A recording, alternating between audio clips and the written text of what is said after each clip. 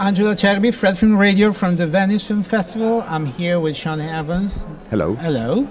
Director of Roger Waters' Us and Them, this monumental film about a monumental show, which is my first question. How, you, you, I mean, you've been working with Roger since a long time. How did you build up this movie and show together? Because it was must have been a kind of uh, intense. It was. It always is with Roger. I mean, which is part of the fun of it. Um, you know, honestly, we did it very quickly. Um, this came off the heels of uh, Desert Trip, which we spent a lot of time working on, and um, then Roger went to finish his record. Mm-hmm. And we only had, I don't know, two or three months to put the show together, which for us is not a lot of time. Mm-hmm. Um, but uh, we're very fortunate.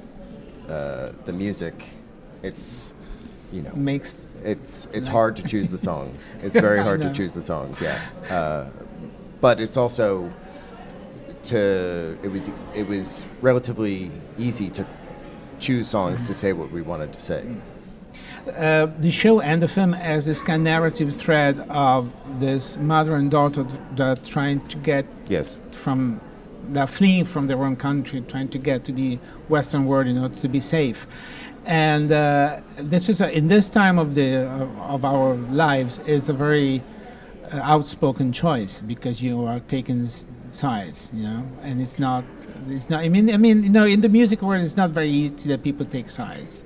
Um, I think sides need to be taken. Oh, uh, you tell me. I know. Yeah, I, mean, I agree uh, completely. To, to, me, this is it, it's an interesting one because I don't feel like that. That's a, a, humanitarian message. Is that taking sides, saying that people should be allowed to live and yeah. shouldn't be bombed? I don't know if that's taking sides. Well, this uh, gives I you mean, the uh, uh, that story of, yeah. of, the, the the girl and the mother was based on, loosely based on, um, the Syrian boy that washed up on the Turkish shore, who mm. was very instrumental in Roger's lyric writing for the for the record, and w- we had to we had to say something. I mean, even in um, working on this film in the last few months, I went back and read the, reread the story and why they were fleeing and all this, and it's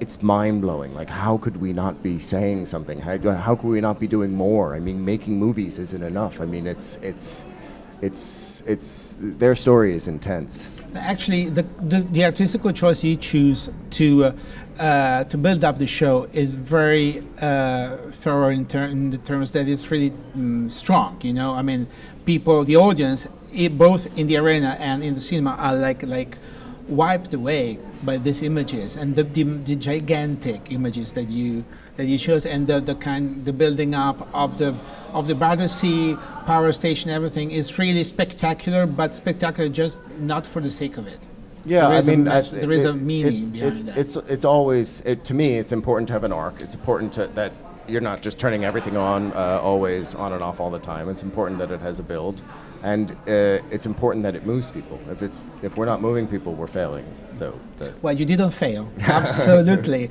and the sound was amazing as well. Great. Well, thank you very much. My Thanks pleasure. to Sean Evans yeah. for having been with us. I'm Angelo Acerbi for Fred, the Festival Insider. Thank you. Thank you.